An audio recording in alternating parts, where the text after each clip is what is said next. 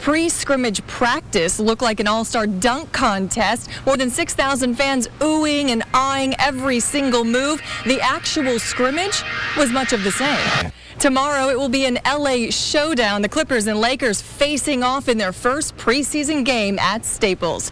Reporting from the Galen Center, Rebecca Hall, KTLA 5 Sports.